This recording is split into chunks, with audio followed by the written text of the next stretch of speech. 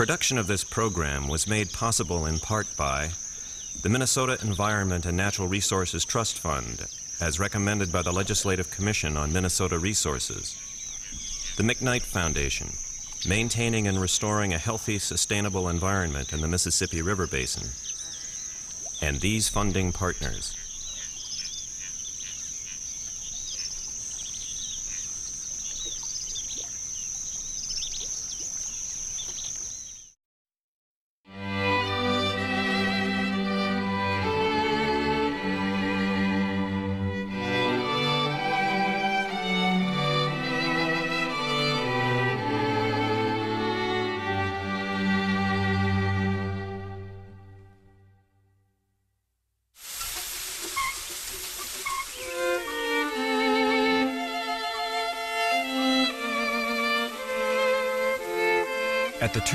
20th century, Minnesota was home to the largest flour mill in the world, the largest sawmill in the world, the largest open pit mine in the world, and a major metropolitan area had grown up along the banks of the Mississippi. The conversion of the natural landscape into a commercial one created prosperity across the state. But the toll on the land was evident and alarming. That era was a time when tremendous change was wrought on the natural landscape. Prairies were turned over for agricultural production, and the northern forest was clear cut. From the point of view of people who love the natural world, almost a dire situation, someone had to put the brakes on. You have to look at the whole continent to see it in its perspective. But it's in the upper Midwest where the frenzy of development and exploitation peaks and invites the response. Thoughtful persons could see that the kind of resource use that had occurred in the previous 30 or 40 years could not be sustained. Across Minnesota, people were beginning to look at the land in a different light. Men and women would call for reform in the way we used our natural resources.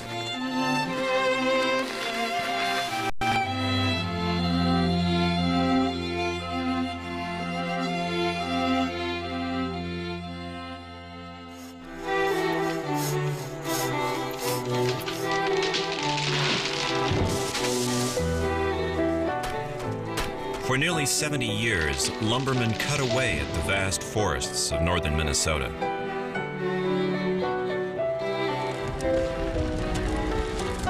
Millions of board feet were logged, and millions more destroyed in fires. Lumbering practices and careless settlers helped fuel these flames, including the deadly blaze in Hinckley, which killed nearly 500 Minnesotans in 1894. But even this tragedy didn't slow the timber industry. Year by year, the cut inched northward until it verged on one of the last remaining old growth forests in Minnesota. Most of it was headquartered right around the upper reaches of the Mississippi and the Winnibigoshish Lake, Leech Lake area around Cass Lake. This was an Indian reservation, the Chippewa Indian Reservation up there.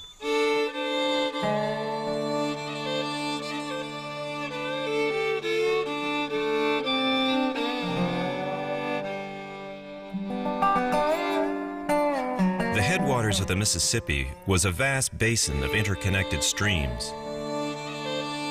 Tamarack swamps, sedge meadows, and majestic stands of red and white pine.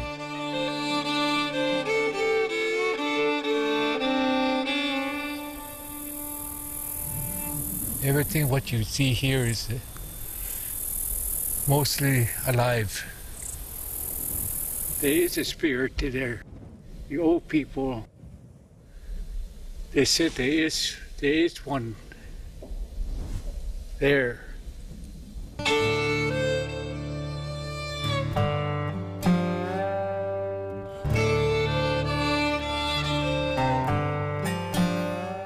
Treaties and reservation lines have protected more than half a million acres for the Ojibwe around Leech Lake.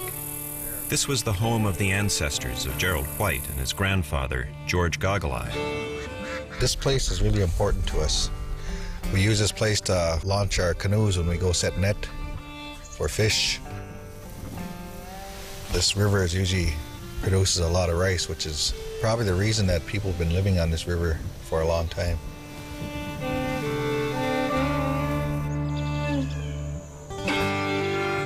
By the 1890s, settlers and lumber barons were casting their eyes on this rich, forested land. In 1889, Ojibwe across northern Minnesota were forced to cede their reservation lands in exchange for individual allotments of 80 to 160 acres.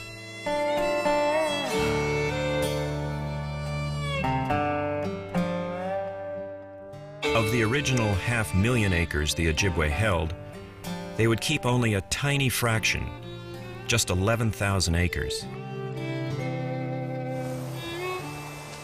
The allotment of the Leech Lake Reservation opened up more than 200,000 acres of virgin forest and would spark the first great public debate over the fate of Minnesota's North Woods. Lumbermen, settlers, and early reformers all had their own ideas about what to do with the former reservation land.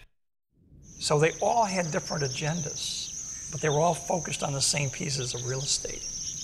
And you had Christopher C. Andrews, who was the forestry commissioner and, and you might say the point man for uh, forest conservation in Minnesota. Uh, at the time, Andrews was uh, over 70 years old, outspoken and vigorous. C.C. Andrews was Minnesota's first commissioner of forests, appointed to his post in the wake of the Hinckley Fire. Andrews promoted a plan to create a forest reserve on the former Ojibwe land. Here, the new science of forestry could be practiced. There is no other so available opportunity in our country for obtaining a considerable tract of original white pine forest for scientific management as here. C.C. Andrews, 1898. Scientific forestry arose in reaction to unregulated timber cutting, and it was an attempt to find a middle ground between decimating our national forests through clear cutting them and preserving them from any use whatsoever.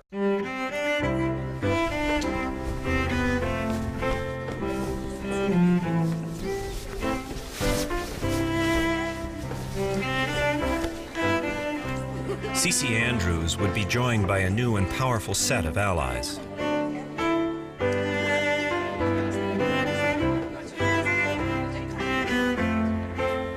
You had the General Federation of Women's Club who seized on this issue in part because they were a rising force politically.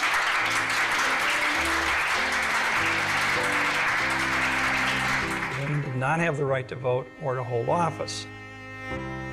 One of the ways in which women across the country were asserting themselves was to demonstrate that they could be players in the political process. And so eh, here in Minnesota, they seized on this particular issue.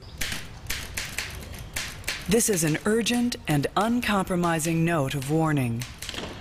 Lumbering operations and the devastating fires that follow in the wake of the destructive slashings have now approached the borders of the ceded Ojibwe reservations. State pride, health, and recreation demand that this opportunity shall not pass without action towards the creation of a permanent forest in Minnesota. The Courant, 1900.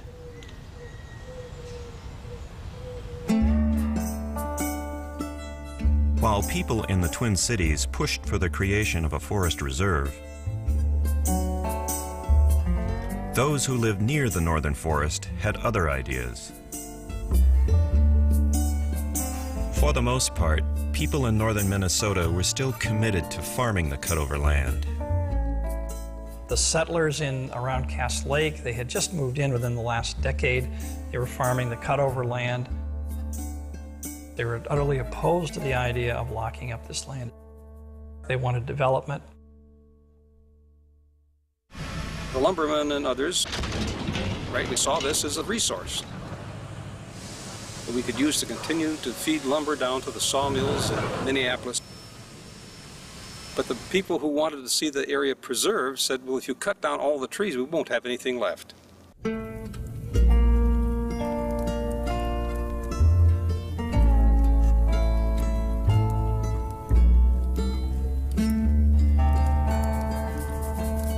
The fight continued over four long years. Finally, advocates of a forest reserve negotiated a compromise with settlers and lumbermen. They had to placate local interests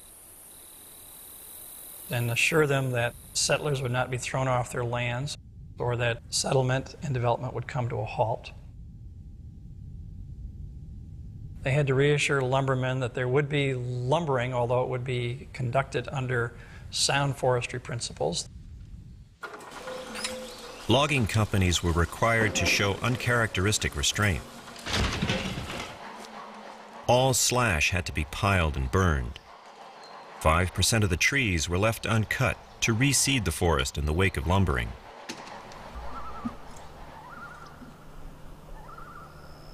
And tall trees along shorelines were left for purposes of beauty and recreation. Though modest by today's standards, these limits were considered radical by the lumbermen of the day.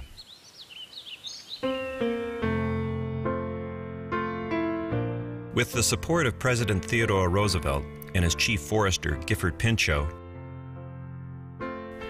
legislation creating the Chippewa National Forest passed the U.S. Congress in 1902.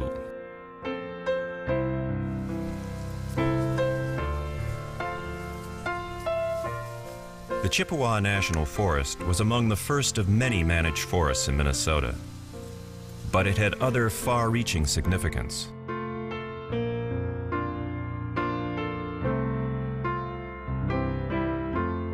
Its creation marked a shift in the way some people viewed the land.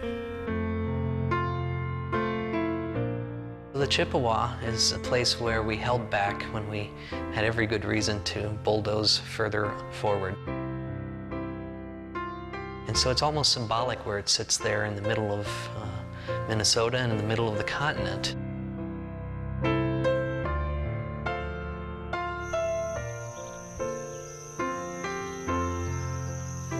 Furthest west point, perhaps the point politically and economically and philosophically, we return the tide.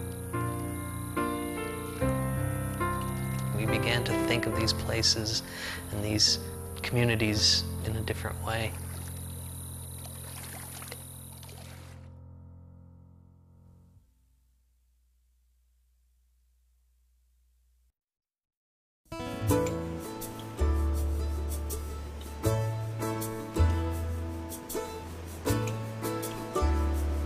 Right here where we are, uh, on the Mississippi River, just below St. Anthony Falls, uh, 200 years ago, this would have been a huge whitewater rapids.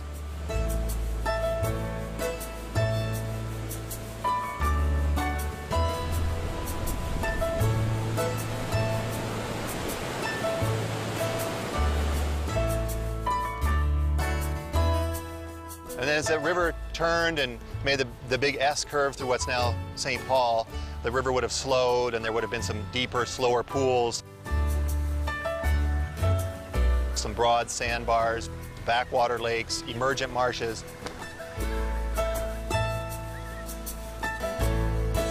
So an incredible diversity of habitat. They estimate around uh, 150 years ago there was 120 species of native fish that lived here in the Mississippi River. The water would have been clear and it, and it would have just been an amazing sight.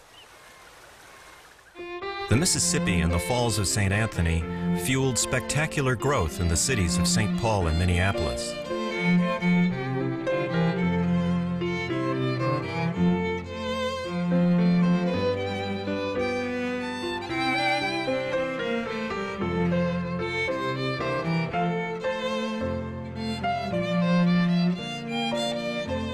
Turn of the 20th century, they were expanding even faster than Chicago.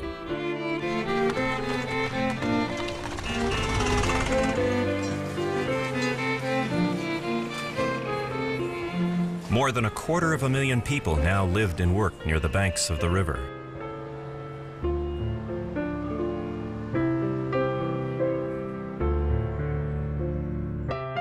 The industrial activities that were occurring along the riverfront, of course, we're dumping all of their waste into the river. Sanitary waste is going into the river. I mean, basically everything that is garbage in any sense is going into the river in the late 19th and early 20th century. And there really wasn't any hue and cry about that. You know, people regarded rivers as, you know, things that would sort of take stuff away. So you put it in and take it away, and you don't actually worry about what's going on in Des Moines or St. Louis or what. I mean, that's not your concern. It wasn't just industries that dumped waste in the river. At the turn of the 20th century, garbage and sewage were still an individual responsibility. Most often, refuse was dumped in an alley, and human waste accumulated in an outhouse behind a home. In poor neighborhoods like St. Paul's Swede Hollow, sanitary conditions were abysmal. Outhouses were perched along Phalen Creek so that waste would flow directly out of the neighborhood. A major crisis in public health reached a peak at the turn of the century.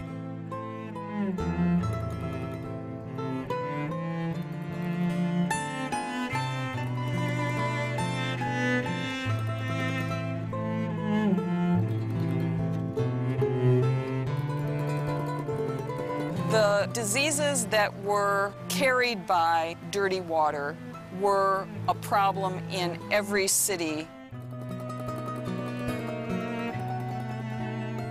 Serious disease like the cholera outbreaks or things of that sort, that was just a part of life.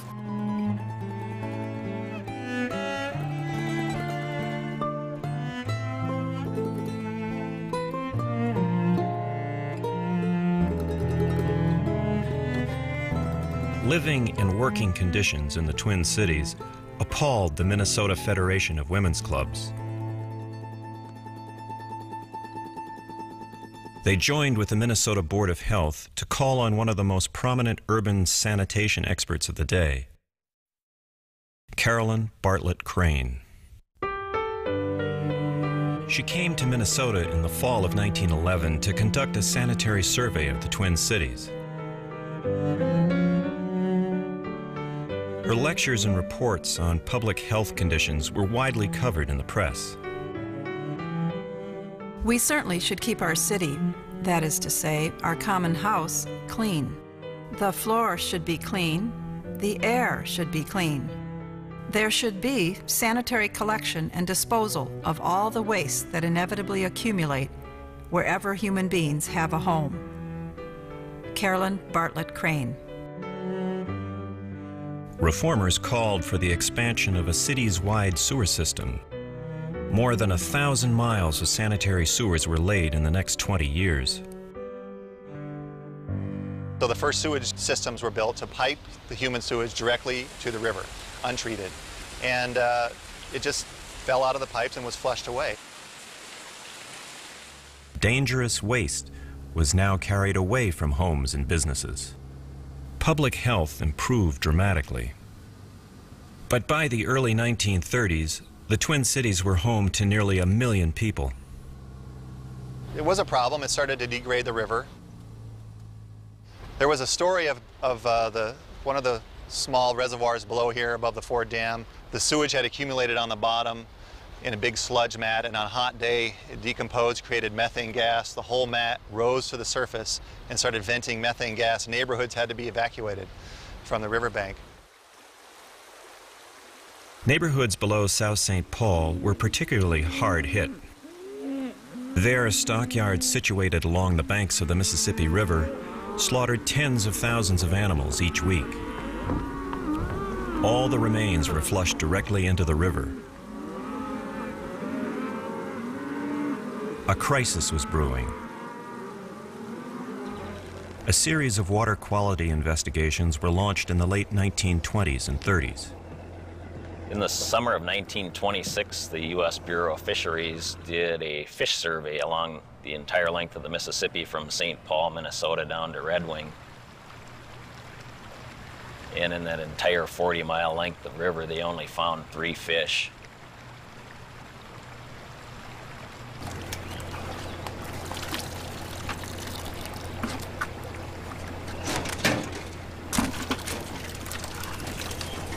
Condition of gross pollution exists. The water of the Mississippi is not safe to drink, not safe to swim in, not safe to eat the fish, and poses a danger to livestock who come in contact with the water. Minnesota State Board of Health, 1928.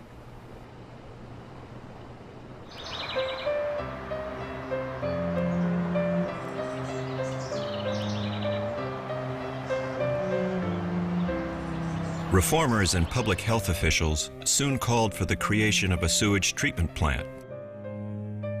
Depression era spending made possible the construction of the largest such plant along the entire length of the Mississippi. For the first time in the city's history, sewage would be treated before it was dumped into the river. As soon as the metro plant was built and came online in 1938, the entire stretch of the Mississippi River above St. Paul improved very dramatically and very quickly. By the late 1930s, the stretch of the Mississippi through the Twin Cities had been brought back from near extinction. It no longer posed a dire threat to human health.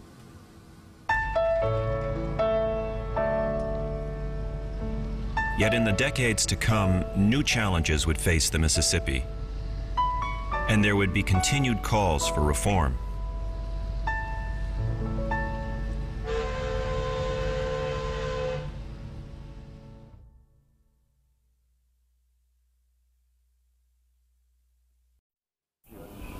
In this area, there are 250,000 acres of water.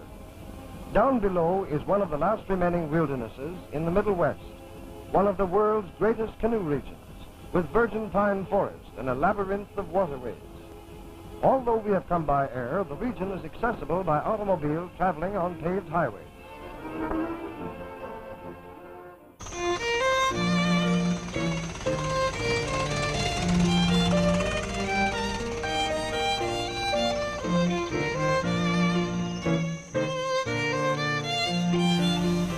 1920s, the automobile opened up new vacation destinations. Now, each summer, Minnesotans could flee the city and head up north. Among the more popular places to visit was the Superior National Forest in Minnesota's Arrowhead region.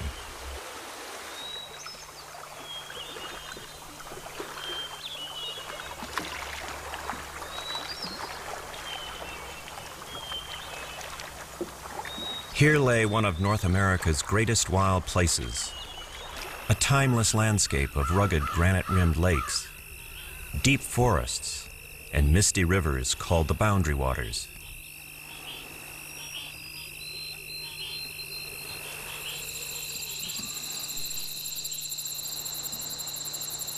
It was Minnesota's last remaining wilderness, and the last of the state's great lumber barons, Edward Wellington Backus, had his eye on it.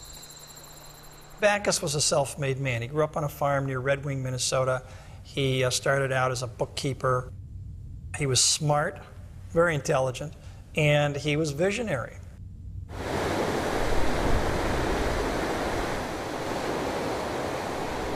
He told a very charming story about snowshoeing north from uh, Brainerd, Minnesota in the winter of 1898 with a timber cruiser, just the two of them. It was 40 below and the wolves were howling. And he said, I came upon a wonderful sight of these great falls. And he recognized that uh, his destiny lay there. The waterfall that so impressed him was Koochiching Falls. Draining more than 14,000 square miles of the Rainy Lake watershed, it was a natural wonder. There was more water power here than at the Falls of St. Anthony. He saw their beauty in the moonlight, he talked about that, but what he really saw was an enormous amount of water power.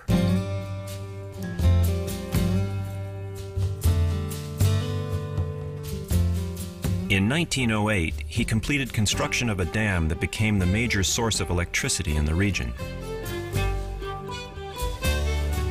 The falls also powered the fourth largest newsprint mill in the nation.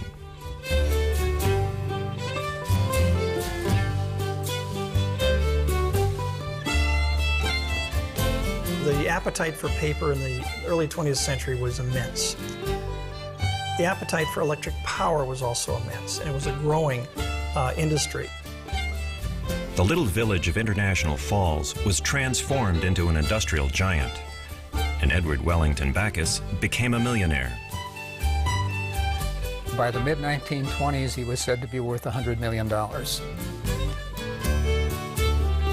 He also had great political clout, uh, especially within the Minnesota and National Republican parties. He had kept a little black book, they said, in which he kept a record of fairly heavy contributions to both sides of the aisle. Backus had a great deal of influence. He also looked the part of the 19th century lumber baron with his silver hair and mellifluous voice and his rather arrogant attitude toward everything, which was tempered in part by a disarming charm.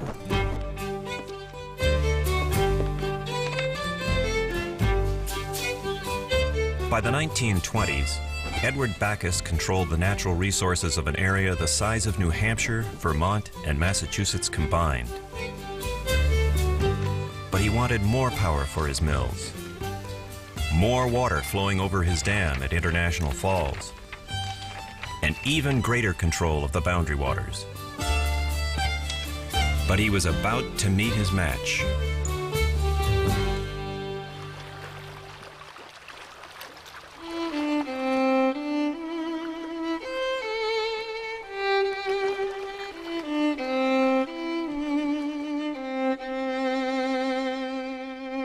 Ernest Oberholzer was an unlikely outdoorsman. He was a classically trained violinist who attended Harvard, where he studied philosophy and landscape architecture. Oberholzer came to the Boundary Waters region for the first time on a brief canoe trip in 1906. He thought the rigors of the journey might strengthen his heart, damaged in youth by rheumatic fever. He returned for a second, more adventurous journey after his graduation from college. He wanted to uh, travel all the portages and waterways of the Rainy Lake watershed. It's described as his 3,000 mile summer. And so in one year of 1909, he was able to cover an enormous range of this huge watershed and moved from this tenderfoot status to someone who was sort of an interpreter of the entire region. This is one of the rarest regions on the continent, if not the world. Nowhere else is to be found so precious and picturesque a combination of water, rock, and forest, all linked together in a single maze of bewildering beauty. Ernest Oberholzer.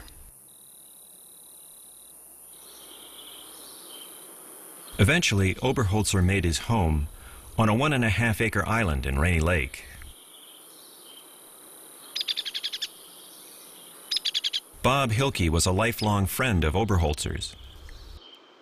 Ober seemed to me like a, a magical person.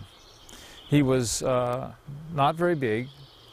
Uh, he was uh, very fit. I mean, he could uh, carry heavy loads. Uh, he climbed around on these rocks and all over the place like it was nothing. He'd be up early in the morning and then maybe going down fixing breakfast for those that were on the island. Always had guests here, it seemed. And uh, his stories uh, were always being told. In time, the collection of cottages and sheds known as Mallard Island became a legendary Northwoods salon. Friends from his days at Harvard, who included the historian Samuel Eliot Morison and the poet Conrad Aiken, joined Oberholzer and others for summer gatherings on the island.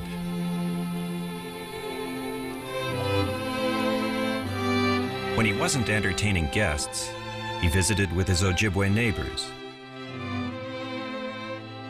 he spent many hours collecting their stories and photographing their way of life.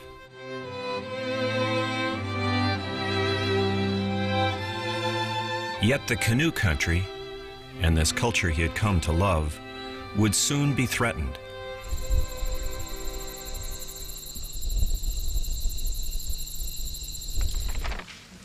It was in 1925 that Edward Backus proposed building a series of storage and power dams along the international border. The whole idea would be to so harness and regulate the waters in that watershed so that he would have he could augment his electrical power at International Falls. Ernest Oberholzer and others living in the Rainy Lake watershed had already felt the effects of Edward Backus's dams. Oberholzer had spent many summers assessing and photographing the environmental consequences. He noted damaged shorelines and timber stands, as well as the way flooding hurt local farmers and resort owners.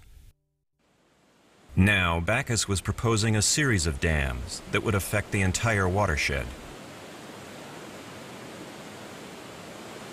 Waterfalls would be replaced with concrete dams.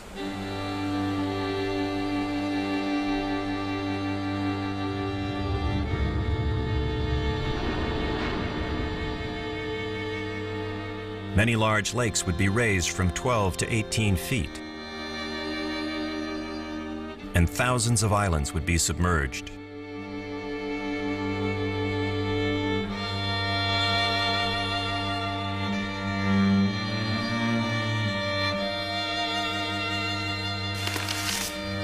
Backus enthusiastically promoted his scheme. The benefits to the people of Canada and the United States may be briefly summarized. Navigation will be improved. The scenic beauty of the streams and lakes will be enhanced, and they will become more accessible to tourists. Uniform water levels will improve fish, fowl, and game. New wealth will be created. Any lands affected by the waters of Rainy Lake are not of value enough to consider. Edward Wellington Backus. Because the region is largely in a state of nature, Mr. Backus assumes that it's valueless.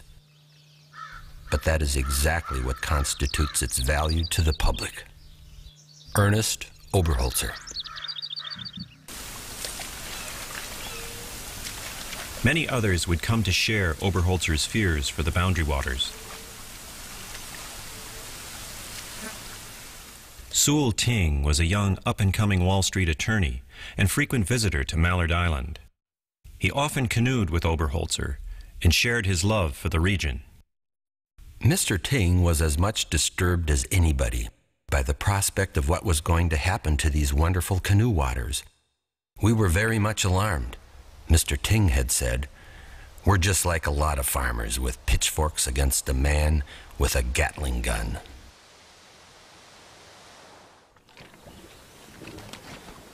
Tyng and Oberholzer were part of the generation that had lived through and been shaped by World War I.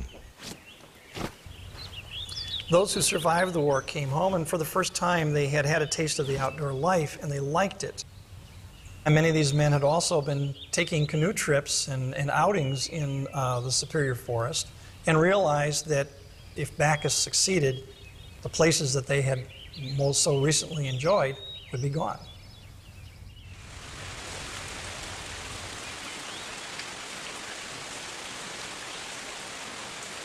Wilderness becomes a resource.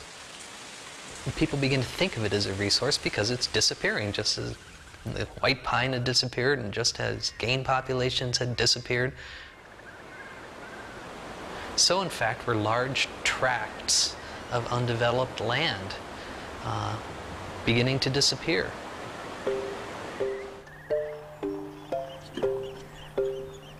By the late 1920s, there was mounting public pressure to protect the Boundary Waters region. Oberholzer and his associates were joined by major conservation groups like the Izaak Walton League and the Federation of Women's Clubs. In 1927, a new conservation organization was formed. The Quetico Superior Council was created to fight Backus and the proposed dams.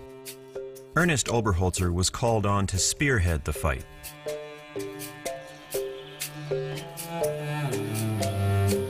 And so with a fair amount of reluctance, Oberholzer left Rainy Lake and moved down and took an apartment in Minneapolis to make speeches, to raise money, to contact the influential people, write letters, which he did. And he was charming, he was personable, he was brilliant when it came to networking people together. Ernest Oberholzer and the Quetico Superior Council soon realized that the only way to completely stop Edward Backus and his plans to flood the region was through federal legislation. They would have to take the fight over the boundary waters to the floor of the United States Congress.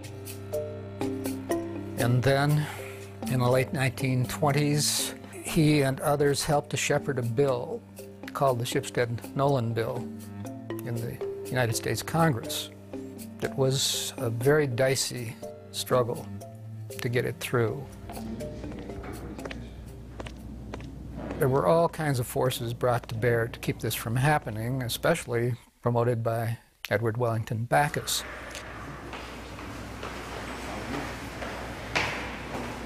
And sometimes when they met in the halls of power, why he would say condescending things to Ober. He would say, are you still climbing the beanstalk?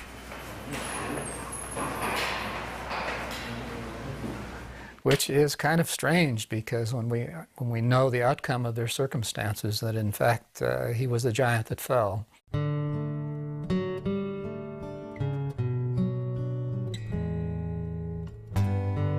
Despite an enormous amount of time and money spent lobbying in Washington, Edward Backus lost his fight on the floor of Congress. The Shipstead-Nolan Act passed in the waning days of the 1930 session. There would be no flooding of shorelines on public lands in a 4,000 square mile region of the boundary waters. And forests on lakes and rivers would be preserved throughout the area. Boundary waters had been saved from destruction. The long battle to preserve the region as a wilderness could now begin.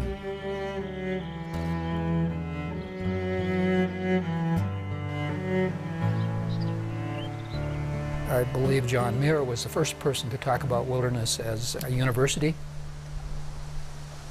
And Ober added a line I think that was quite wonderful. He, he said, it's a university where the other half of wisdom is, uh, is taught, that, that greater part of wisdom uh, that can't be taught indoors. Such lands, wrote Oberholzer, would link us with a primeval past, promising sanctuary for all time to unborn multitudes. The deepening of the Great Depression and the fight to dam the boundary waters destroyed Edward Backus's empire. Yet he had played a key role in the effort to protect the region.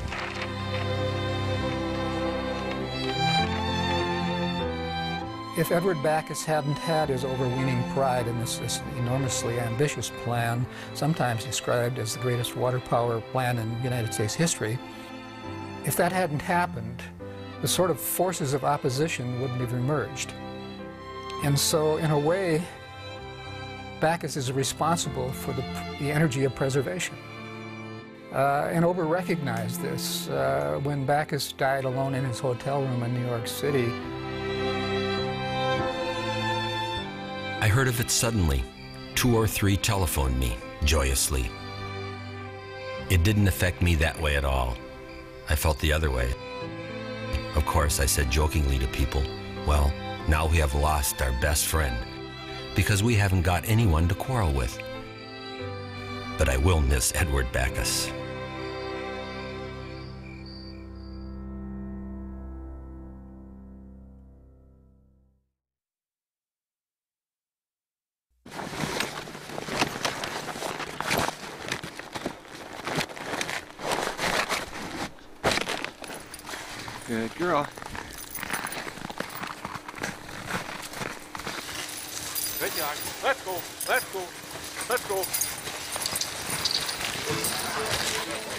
Before he became a noted writer and conservationist, Sigurd Olson joined a team of game wardens on their rounds. Their job? Killing wolves.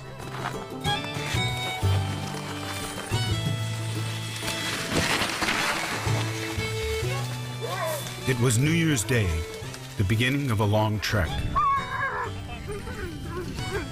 We were bound for the Fraser Lake country to make the round of a line of poison bait set out some weeks before.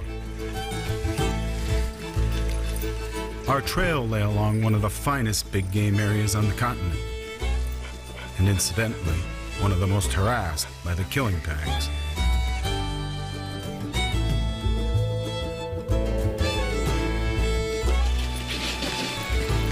This was but a phase of the warfare between predatory animal control and the hosts of gray marauders, which each year descend from the wilds of Ontario. Sigurd Olson, The Poison Trail.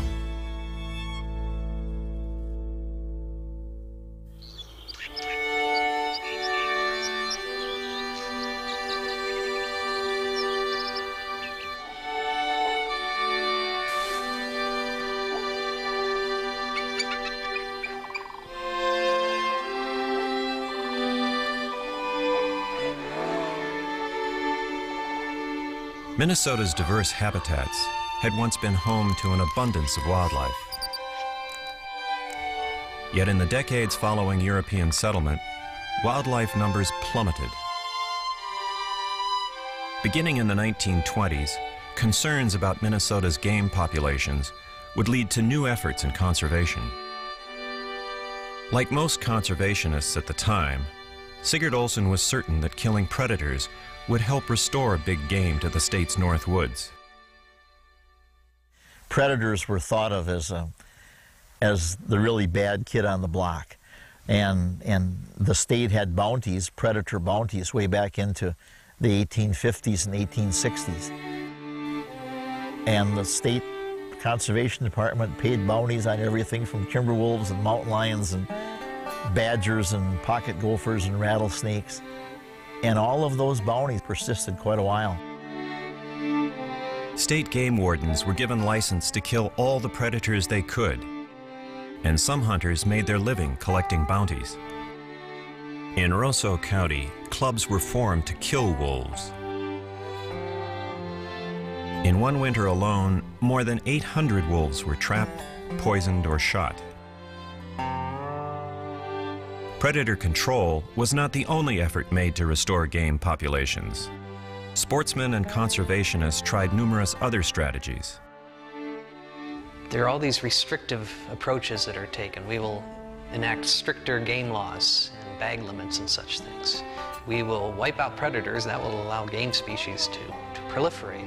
We will create these refuges that will give them a safe haven so that hunters can then harvest the overflow.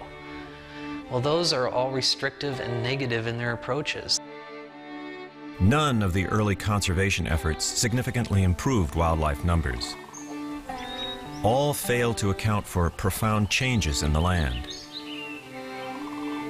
Well, wildlife populations really changed in the late 1800s and the early to mid 1900s, basically due to the change in habitat as forests were cut and prairies plowed, habitat was destroyed and populations continued to plummet.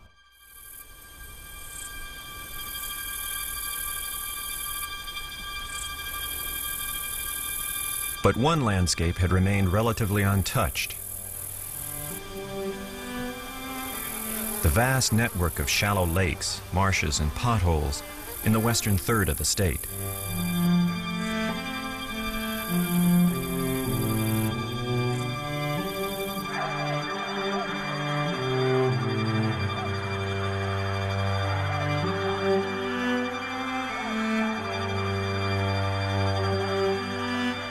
The thing that's most significant about the potholes in a national context is they're the place where most of America's waterfowl breeds. In its original state, the prairie pothole region stretched from southeastern Alberta in the northwest to Iowa in the southeast. About 80% of the waterfowl in this country breed in this one area. From all the four flyways, birds converge upon the wetlands.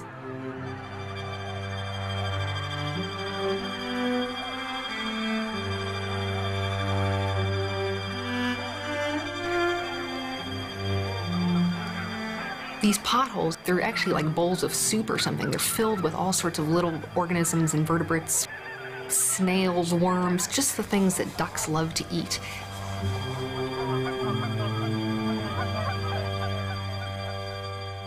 Not much cover here, but bang goes the shotgun and the duck season has been opened. It looks like plenty ducks, mallards, canvasbacks, redheads, big boys all. The limit in Minnesota, 12 ducks a day, 36 in possession.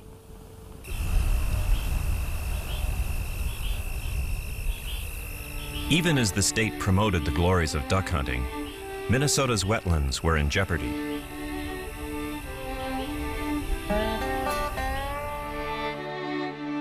In the late teens and early 20s, booming agricultural markets encouraged farmers to expand fields. In western Minnesota, the last tracts of potential farmland were prairie potholes and wetlands. A drainage craze swept through the region with devastating effect as farmers drained wetlands to create new fields of corn and wheat.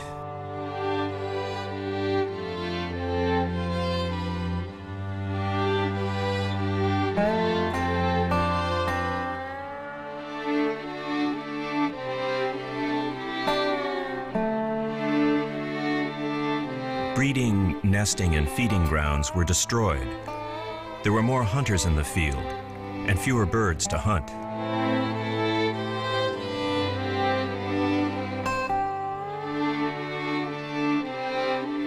In 1928, a major hunting organization hired a researcher to conduct a field study of game birds in the upper Midwest.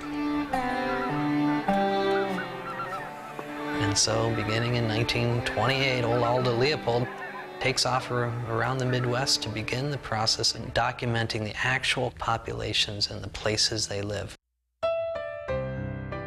Aldo Leopold would lead the way in bringing the new science of ecology out of the lab and into the field. Leopold's groundbreaking work in the 1920s and 30s ushered in the era of modern wildlife management. It's a chance to understand what's actually going on out there with these populations of animals and with the habitats that they exist in. No one had done that before. It was old wives' tales and, and rumors and anecdotal accounts. There was no data, there was no science to build on, and it had to begin somewhere.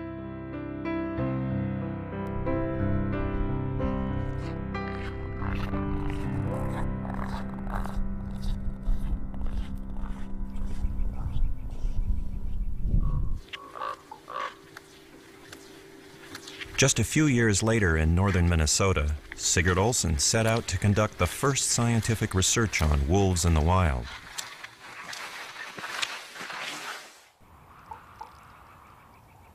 He'd come a long way from the poison trail.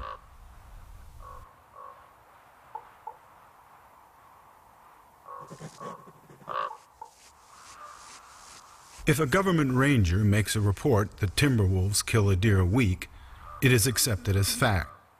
And immediately any program to eliminate this menace to wildlife is heartily endorsed. Because there has been no attempt to disprove these theories, the campaigns of extermination go unchecked. Sigurd Olson.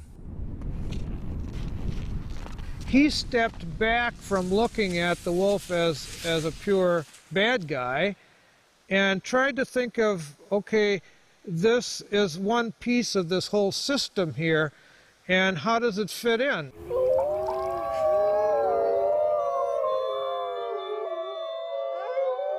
Aldo Leopold was making the same intellectual journey as Sigurd Olson. Leopold's view on predators shifts 180 degrees.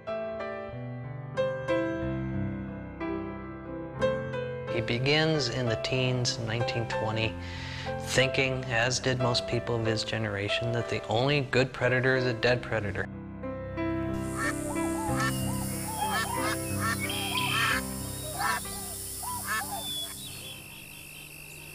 By the early 1930s, he's almost saying that as conservationists, we need to be conserving the entirety of the community of life, from the predators on down to the plants, down to the rocks and soils, because they are all interrelated.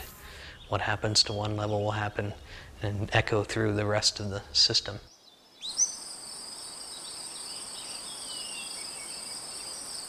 In an essay called Thinking Like a Mountain, Leopold described the change. He recalled shooting a wolf and approaching the dying animal. We reached the old wolf in time to watch a fierce green fire dying in her eyes. I realized then, and have known ever since, that there was something new to me in those eyes. Something known only to her and to the mountain.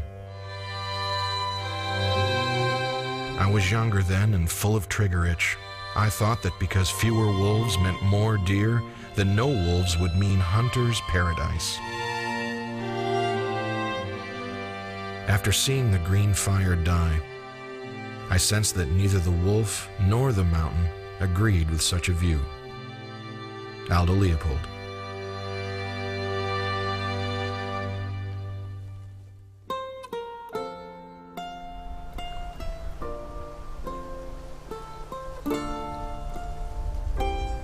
I think in the teens and the 20s in the United States, there was a premonition that things were connected and that we were dealing with a very complex system.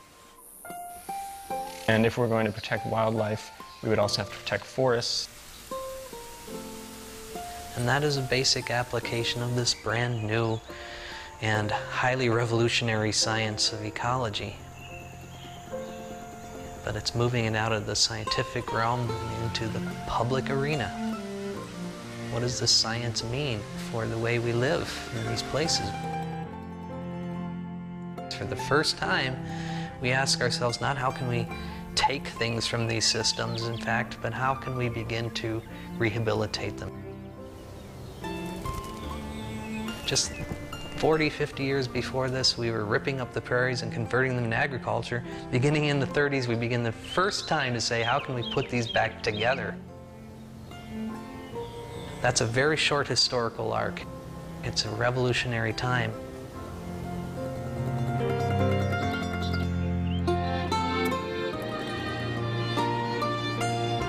In the decades to come, Minnesotans would continue to make monumental changes in the land.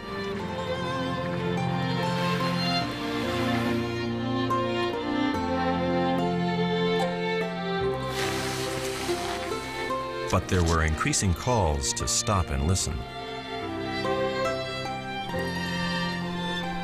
I have heard the singing in many places. I have heard it on misty migration nights when the dark has been alive with the high calling of birds. And on cold winter nights when the stars seem close enough to touch.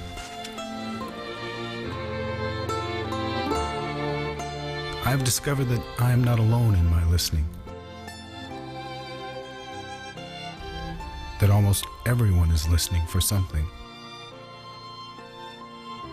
That the search for places where the singing may be heard goes on everywhere. Sigurd Olson.